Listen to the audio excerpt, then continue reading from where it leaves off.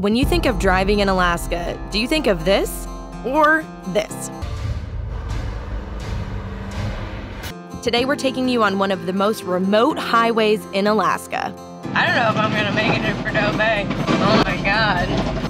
Click subscribe and let's see if the roads are as bad as they say. We are officially on our way to Denali National Park, and what better way to get there than the Denali Highway? Woo! I can't wait to go through here. I feel like this is one of the more remote highways that you could go on, and hopefully we get to see a lot of wildlife. The Denali Highway is 134 miles long and it's mostly gravel road. Depending on the time of the year, they may be more potholes, but who knows? Fingers crossed. You have a lot of places redoing their roads, so you'll have these dirt road stretches where they have a flag person standing there blocking off one side of traffic. Then they have a pilot car that will tell all these cars to come down. The pilot car will pull over and then it will let us go and we'll, we'll go back the other way.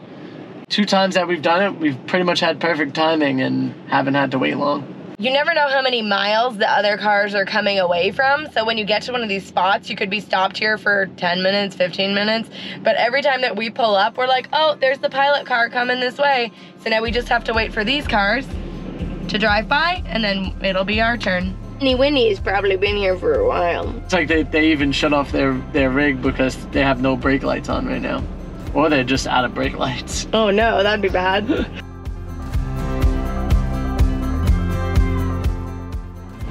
oh, this is exactly why they have a tow vehicle. This is a huge ass dip in the center of the road with a giant work truck next to us. How about you, Paco? You doing the driving?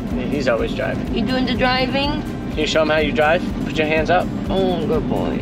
We're assuming that we're not gonna have really any service along the ride, so we've downloaded a couple of audiobooks. First up is Kevin Smith, Tough Shit, just something to make us laugh. My American dream has always been simple, and it's one I encourage you to adopt as your own. Hmm. Figure out what you love to do, then figure out how to get paid to do it. We've already beat the odds. Just from our dad's nut to our mom's egg the fact that we've made it here is kind of incredible. So cherish it, enjoy it, do your best. That's all you can do. There's a line on the other side. It was probably like eight miles of road. They're in for the ride of a lifetime. It's a good one, that's for sure. We are officially on the Denali Highway. The first couple of miles are paved, so we're gonna enjoy that before we drop into God knows what. Beyond this point, not recommended, it says. Did well. it say that? Yep. It's clear that this highway isn't super well maintained anymore. If you could see that roadside stop over there, used to be a very big busy place when the Denali Highway was actually active and the only way to get across. But obviously, it hasn't been that way in a long time. It's also a very thin road already. So like, it's two lanes and they're tight. Into the unknown.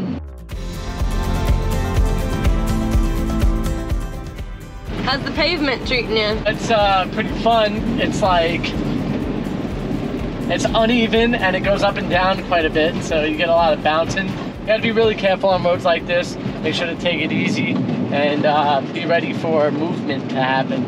You know, keep a good grip on the wheel. What's your speed? Right now I'm doing about 45 to almost 50, which is probably a little fast but uh, I feel pretty confident in my abilities. As we're coming through the Denali Highway, getting to the pass, you guys can see it's super gloom out here. There is like zero visibility off the road. If you ask me, it makes some for some like really picturesque, like really cool vibe. You're vibing? Yeah, I love vibes like this. It's like kind of like you decompress when it when it looks like this outside. It's like, yeah. it's like almost like it's raining out and you get to like kind of hang inside in the warmth and whatnot. Okay. It feels the same for this. All right. You feeling cozy over there? Yeah, I feel cozy. We're planning on sleeping along the highway somewhere. Hopefully tomorrow morning we wake up and it's like a nice beautiful day. Who knows? I have to apologize for my camera work because it's really hard.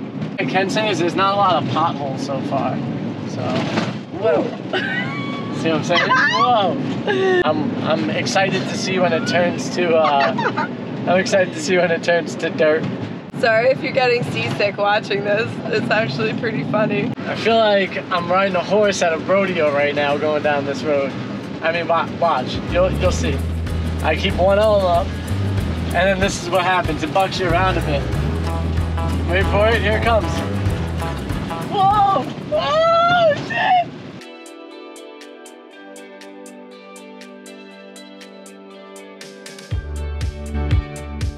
Has just ended. We are now officially on the gravel road. Well, so far it actually feels more flat than the paved road. We're doing 45 right now and just cruising, no problem. They're actually even doing road work and maintenance on this part of the road. They just built a new bridge back there. When the Denali Highway opened in 1957, it was the first and only road access to Denali National Park. In 1971, however, the Parks Highway was constructed right from Anchorage to Denali, making the Denali Highway kind of obsolete. But as you can see, the views are absolutely stunning and totally worth the 134 mile bumpy, sketchy road. Since we are at the peak of the Denali Park Highway, we're gonna go and put a sticker on the sign that everybody else has too. We don't normally do things like this, but seems like it's already been done a couple times, so we're not like the only ones. I'll allow it. It is raining, so we'll see how well it sticks.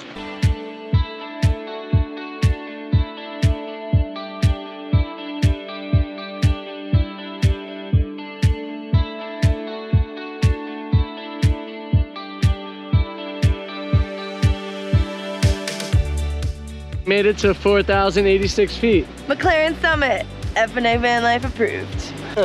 If you've been here and you put a sticker up there, let us know in the comments below. And you were right, it's definitely raining and we shouldn't fly the drone. Okay, thank you. okay.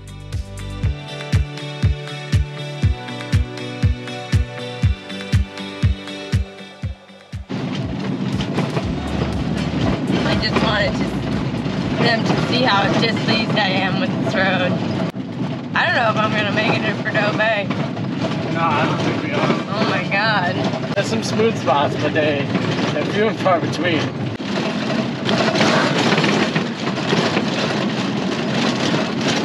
Only room for one spot down there, and he's in it. All right, we gotta find something else. Yeah. You want to go back that way? Or look, there's another road right here we could check. There are tons of places to park along the Denali Highway. There's literally like pull off after pull off after pull off.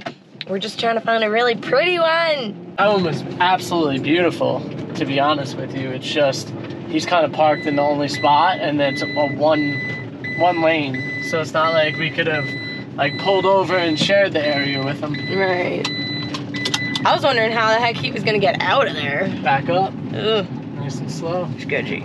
It's not worth it, I don't think. You wanna drive through the creek? I want to, but I also don't want to get stuck with nobody out here to pull us And out. we don't have four by 4 I'll tell you what, if Matt and Amber were here, I would go across that creek. Oh my god. Because I know that they could winch us out.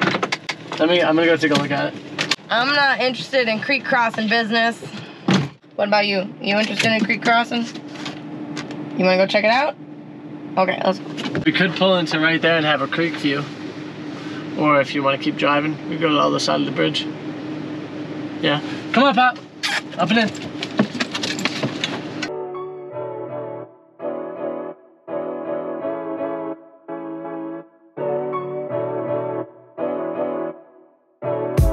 I just bought a new whip. This is breathtaking out here.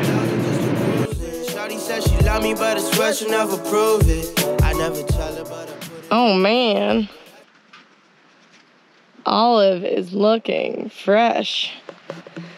The van is super dirty, but we found an amazing spot to camp for the night. This wasn't our first choice of spots, but it's still a great spot. And it looks like we have a little spot we could walk down to the river.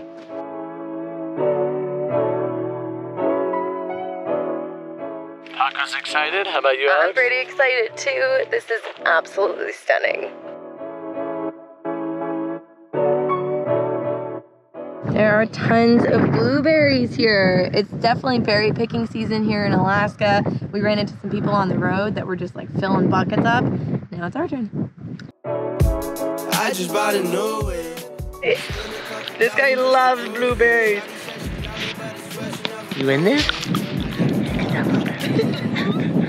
I'm pretty sure Paco was more excited about the blueberries than we were. And we like him a lot. We gave him a couple and then he's like, I'm doing this myself. You're not feeding me Yeah, fast enough. He's in the ones up there now too. Once we give it to him too, he knows that it's okay, that he could eat it. So then he finds it for himself and eats it. Ah, no. Something died here for sure. You don't want to pick the blueberries from that spot, I'll tell you that much. Time for the most dangerous part of driving down any bumpy road, opening your upper cabinets. Oh, Nice. haha, this definitely fell off, but how about this guy? Wow, everything like nestled itself. It fell, but it nestled. Check out Not the, as bad as I thought. I've already that's- opened this one. Oh, did you? This is the worst one. Look at us go! Hell yeah! I'm gonna make some black bean bolognese, and Frank is gonna work on the edit for a little bit. Yeah. I'm How's ready. it look? It looks really good. I'm super excited because I am starving. All right, so Paco, my buddy, I'm sorry, but you got to Sorry, get up. dude. I need the chair. Little dude. Oh, look at the little dude. We might have one too many throw pillows. Yeah, they're in the wrong area. They should be up there. Look, Paco doesn't want to get up. He should be. All right. Bon appetit, baby. Thank you. Kisses to the chef. Okay. All I wanna do is make the best of my whole day. Thank the Lord up above, get the cream on the side, make you laugh to no end. We have to leave super early this morning because I actually have a phone call at 10 a.m. and we got to do the rest of the drive, which is probably another quarter of the Denali Highway, and then we got to find service. So hopefully, the first town out of the highway has service. If not, we're gonna have to drive all the way to Talkeetna before 10 a.m. This was a really sweet spot to sleep, though. It was super quiet all night. We slept really peacefully, but now it's just Even even with the animal bones right next to us, we slept real well. yeah. Did you show them the animal bones? And the half-built, uh, yeah. grave. And the half-built grave. There was some animal bones and a grave. We survived, and that's all that matters. I guess we'll see about road conditions now that the road's wet. Yeah, I was actually gonna ask the question. What do you think? We have like another hour of this, or is it gonna be quick? What do you think? Like, dirt, how much more dirt road is left? A, oh, a couple, but a while. A while. Yeah. All right. I'm wondering if it's like the other side where it becomes a regular road. It again. should at some point, but I don't know how long till that point. Mm. So now not only are the roads questionable, they're also wet. So we'll see if that makes any difference. Luckily for us, the weather turned and the sun came out, allowing us a beautiful view of all the surrounding area. Before we came on this highway, people warned us that we needed a spare tire because people get flats all the time, and also to expect that our windshield would probably get cracked along the way. Luckily, we didn't get stuck behind any big trucks that throw the rocks at you. And if you do, just make sure that you give yourself a big amount of space between them. If a truck is coming towards you, make sure to pull as far to the right as you possibly can to avoid any rocks getting picked up by their great big tires. On the Denali Highway, the paved roads and the gravel roads were really good at times and really bad at times, so you just have to stay alert and take the drive as it comes.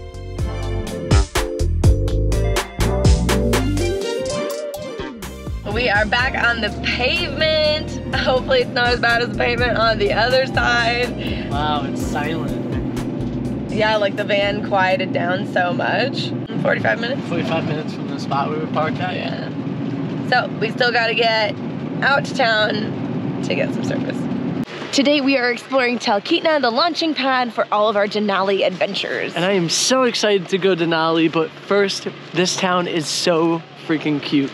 There are tons of shops and restaurants, so we're gonna eat our way and shop our way through town and take you guys along for the adventure. Let's do this.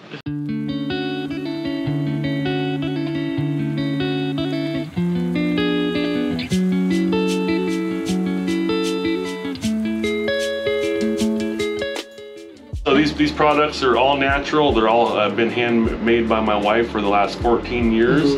And those are Devil's Club salves in the back, and those are like a natural pain reliever.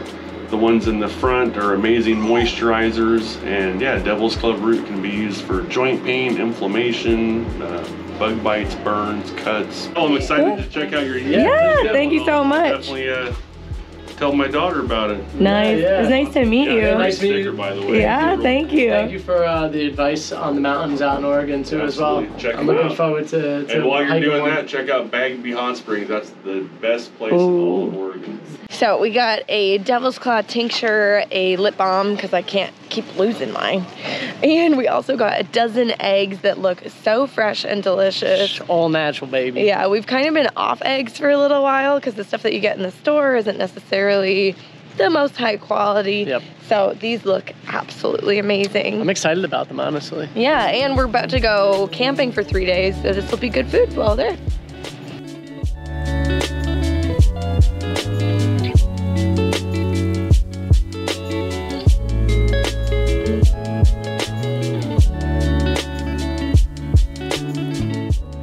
I got a very fruity breakfast. I got an oat cup with tons of fruit and a berry smoothie.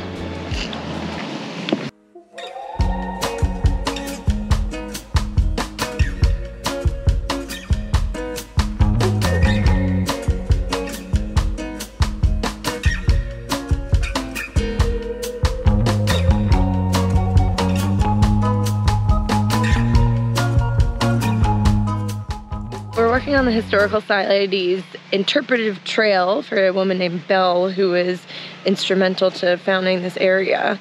And just at the end here, we should maybe be able to see Denali. Denali straight ahead, Yeah. but unfortunately is just barely covered by the clouds. So right here in the center here is probably where Denali is. Um, and then you have another mountain range right here. Is that the Sleeping Lady, I think? I don't know, I think that might be the Sleeping Lady. So no luck seeing Denali yet. Hopefully, we get to see her before we leave. Now it's your turn. We want to hear from you in the comments below. Are the roads in Alaska as bad as you thought they were going to be? Up next, we're heading into Denali National Park to become friends with grizzly bears and moose. Be sure to subscribe and hit the notification bell. This is an episode you're not going to want to miss.